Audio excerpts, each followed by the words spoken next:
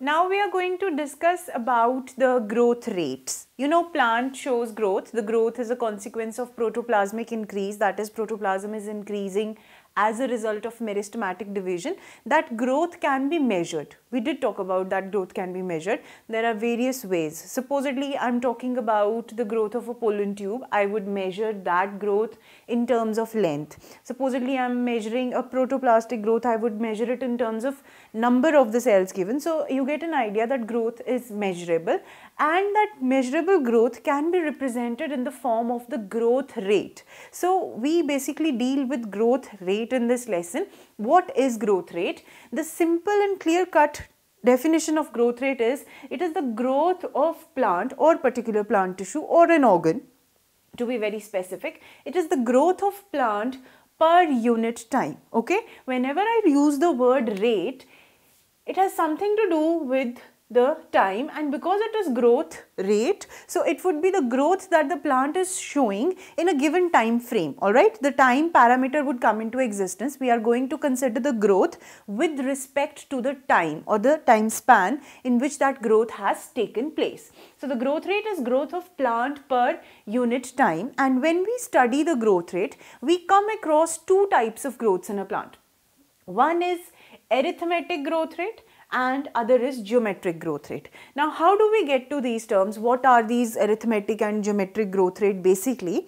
It is the representation of the growth in a mathematical form can be known as growth rate whenever we are showing that this is the growth and this is the time frame in which the growth is taking place. If it is to be represented in a mathematical form then we have two ways of representing it and we come to a conclusion that there are two types of growth rate that could be visible in a plant. First one is arithmetic growth rate and the second one is geometric growth rate. Now I am going to brush your knowledge of maths little bit. You know there is an arithmetic progression that we study that 2 becomes 4, 4 becomes 6, 6 becomes 8, 8 becomes 10 forward and you are adding 2 to, to, to such a progression and other cases of a geometric progression where 2 becomes 4, 4 becomes 16, 16 becomes 32. So you are sort of squaring the particular number and in case of arithmetic progression you add the same number time and again to the previous number. So as the name suggests, in the arithmetic growth, the growth would be somewhat slower. So for understanding purpose, I am going to make you recall what an arithmetic progression is. 2 becomes 4 then 4 to uh, 4 to 6 6 to 8 8 to 10 this is how the increase is going on. And in the case of geometric growth it is 2 it would be 4 it becomes 16 32 then it becomes 64 now as you can clearly see the increase over here is quite less than the increase that is observed over here. So, in case of arithmetic progression, we don't have to understand the growth in terms of progression basically. If we are talking about growth, it has something to do with cells or the addition of cells which is taking place, how the protoplasm is increasing. So, when I deal with growth basically and I say that it is arithmetic growth, I have to see it from the point of cell division, mitotic divisions which are taking place inside the cell and how those divisions are adding up to the cell, cell content of the plant and how that is leading to the growth and how that is observed in the time span and giving the growth rate. Long one but you need to understand that it is the in the arithmetic uh, growth rate the growth rate will be in such a way that supposedly you have a single cell this is one cell and it gives rise to a new cell after division uh, let's denote it with opposite colors. Let this be the cell which has the ability to do division and black represents the cell which loses its division ability and gets differentiated. I am going to repeat what differentiation is. It is the maturation of the cell when cell decides what it has to do and the one which is meristematic cell that retains its ability to divide. The only thing that they do in a plant is they keep on dividing and give rise to new cells as you can see over here.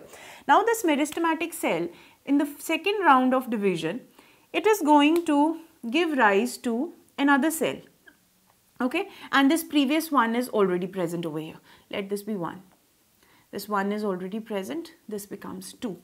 This meristematic cell in the third round of division, it has added another cell and you may see that whichever cells are being added, they are not having the ability to give rise to a new cell. I did not say that this one gave rise to two. It is coming from the meristematic cell. Now such a growth, such a growth basically is the arithmetic growth. Alright, when we come to the geometric growth, over here, one thing would be different that the meristematic cell which has the ability to divide, it is not going to give rise to a cell which will not have the ability to divide. I am repeating, this meristematic cell in the arithmetic growth rate, it gave rise to a cell which did not have the ability to divide. That means it got differentiated. In the case of geometric growth, the case will be little bit different. Over here, the meristematic cell is going to give rise to the other meristematic cell which has the ability to divide. Now, in the second round of division, as this also has the ability to divide, this also has the ability to divide, you are going to get four new cells. Supposedly this is 1, this is 2. This gave rise to the third cell and fourth cell. Further, this fourth, third cell also has the ability to divide. First and second obviously had it and they retain it as well. And then comes the fourth. In the next round of division, this is going to give rise to two cells. So, 1 gives rise to 1 and 2 are here. This is going to give rise to another cell. This is also going to give rise to another cell. So, after the completion of the round of division, I am going to end up with 8 cells in total. I have made 7 already. So this would be 6, 7 and 8. Just for your understanding purpose, don't go according to the numbering how we considered and what is being added to which cell. Just for your understanding, I'm trying to tell you that all the cells which are being formed, they are retaining their ability to divide. That means in the next round of division, each cell would add another cell to it, which was not in this case. That the previous cell did not add I'm sorry, pardon me, the newly formed cell did not add a new cell. It was the meristematic cell that was adding continuously to the growth rate. Now this growth rate somehow is arithmetic and this is geometric. As you can see we started with one cell, it gave rise to two cells, 2 became 4, 4 became 8 and over here we started with 1, then became 2, then 3, then 4. In this way the increase takes place. Now this is the difference between arithmetic growth rate and geometric growth rate. You would understand it in a better way if we show its graphical presentation as well. So for understanding the graphical presentation, there is an equation. If we plot this arithmetic growth according to the time, supposedly the growth is measured in terms of length of a plant. I am taking the case of length over here we are measuring the length of a stem of a plant and it is uh, being measured in a given time frame. So we represent in on the y-axis I am going to take the parameter which is being considered length that is okay L denotes length over here. Let me write it. Length along the y-axis and time is shown in the x-axis okay over here and time is increasing. So one thing starting from L naught, L naught is that length when the growth is not taking place. We can take it as 0. Please remember this can be taken as 0. So supposedly this is L naught. Let's not take it 0 because it complicates the equation.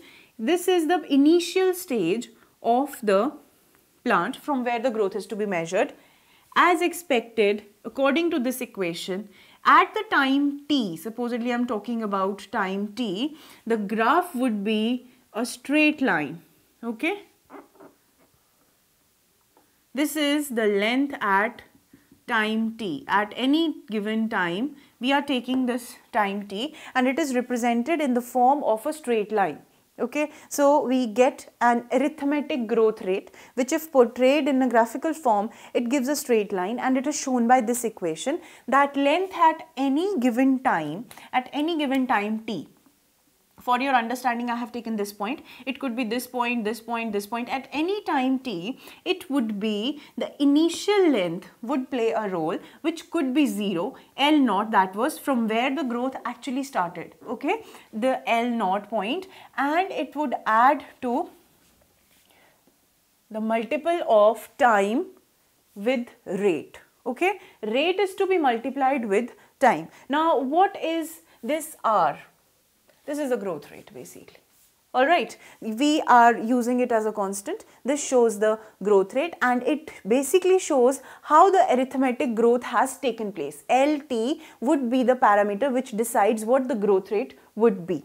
Now coming to the geometric growth rate, over here we have considered, uh, considered the example of increase in weight. And when we talk about um, this geometric growth, we have a term known as relative growth rate. Okay? Relative growth rate is also known as efficiency index of the plant. First of all, let us understand what is efficiency index of the plant. Supposedly we have four cells. Now the efficiency index would tell that how many cells these four cells could give rise to. Or supposedly I am having a stem or apical meristem. The ability of that meristem to give rise to the biomass of the plant that how much growth it can undertake that is known as the efficiency index. All right. So we are uh, considering this efficiency index in terms of relative growth rate. When we talk about relative growth rate there is another term that is known as absolute growth rate that comes into the scene. We are going to understand what is the difference between two but before we need to understand that what is the geometric growth rate if portrayed graphically. Over here as you can see the growth rate is exponential same way it this would be weight supposedly along the y-axis and on x-axis I'm taking time. Here we cannot take W naught to be 0 because it is relative. We are talking about efficiency index that means few cells should be there. So W naught cannot be 0. In any case this is W naught the weight with which it began. Weight cannot be zero, you know that. The weight, dry weight or the wet weight which we are considering, the dry weight of the plant, we start from W naught and it increases exponentially for some time. It shows a sigmoid curve. You understand what is a sigmoid curve? Somewhat S-shaped. Okay, it shows a sigmoid curve where the growth is exponential for some time and it stops after some time. Not stops exactly, it becomes stable. Stationary sort of phase comes over here. So we have an exponential phase in the growth pattern. In the beginning it is small, then it keeps on increasing and it is denoted by this equation where the point where we are considering W1 at any point at given time t, if we are considering W1, it would be dependent on the initial weight with which the plant started, that is W0, which will not be 0. This is the base of logarithm and it is to be, because this is an exponential equation, we bring into the scene the relative growth rate multiplied by the time in which that growth has taken place. Alright, so this is the equation of geometric growth where we have W naught that is the beginning weight of the particular plant multiplied by the exponential of R and T. Okay, so this, this as you know it would be an equation of geometric level. Okay. So we get geometric growth rate in this case. Exponential growth is being observed. Now the last thing that we need to understand that we uh, introduce the term relative growth in terms of geometric growth. Uh, most of the plants, as you know, the geometric growth is shown by the meristematic cells. Okay. Now, if we have to see the apical meristem of any plant, embryonic stage if I am considering, and here the meristematic cells would be present. So, I am going to take the old convention of using the colors which we took earlier. These red ones are meristematic cells, okay? They are adding these cells, these would remain meristematic. Rest of the cells which are being added, they would be showing geometric growth, alright? These are showing uh, sorry, pardon me, these are showing geometric growth and these would be showing arithmetic growth. And when the vascular cambium comes into being, then also it is going to show geometric growth instead of the arithmetic growth. Okay. I think I have uh, spoken wrong. It's not uh, geometric, it's opposite that this vascular cambium will show arithmetic growth instead of the geometric growth. Geometric growth would be shown only at the tip by the meristematic tissue. So this is how embryonic development takes place. Now coming back to the topic of absolute growth and relative growth because we are considering the growth rates over here, efficiency index came into being. We are going to talk about the difference between relative growth rate and absolute growth rate. As the name suggests, when we talk about absolute growth, so we do not relate it to any perspective, okay? What we began with or what we have achieved. Absolute growth is supposedly the way a length of plant was anything. We are not going to consider what was the length in the beginning. The increase in length is 7 centimeters, supposedly.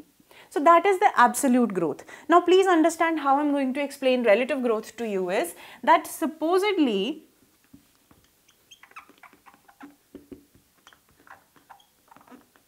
a plant has shown 7 centimeter of growth two plants are there. We are going to consider two plants. One plant has shown 7 centimeter of the growth while the other one has also shown 7 centimeter as well.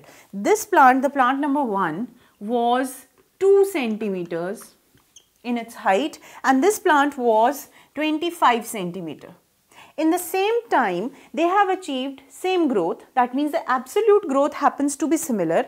But because this has shown a lot of growth owing to its initial size that is initial length was 2 centimeter and this had 25 centimeter. Even if it has increased 7 centimeter it would not appear much. So the relative growth in terms of the both plants that we have taken into consideration we are talking about the stem length is much higher in this case okay? Because we are considering a parameter that was initially present. We are comparing the uh, particular growth parameter with another one that was initially present. And in this case as you can see the growth happens to be it appears to be quite less. So relative growth is going to take a previous parameter into account but absolute growth does not tell if actually growth is occurring. Now i would explain it from uh, with another example where you can see if there is any difference